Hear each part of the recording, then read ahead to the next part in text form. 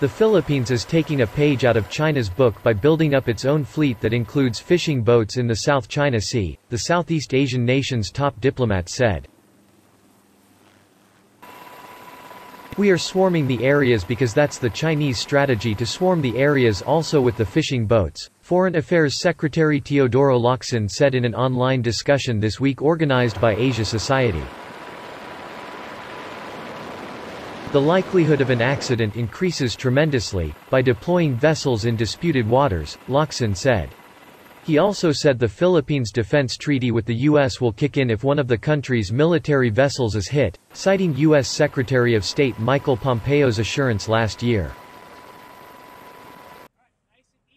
President Rodrigo Duterte has recently leaned back toward the U.S. and toughened his stance against China.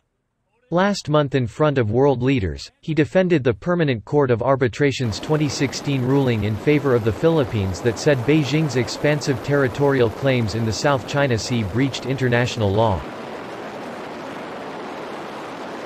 The Philippine Navy is planning to deploy over 200 armed militiamen on motor boats to patrol the South China Sea, its Chief Vice Admiral Giovanni Carlo Bacordo told Rappler earlier this month.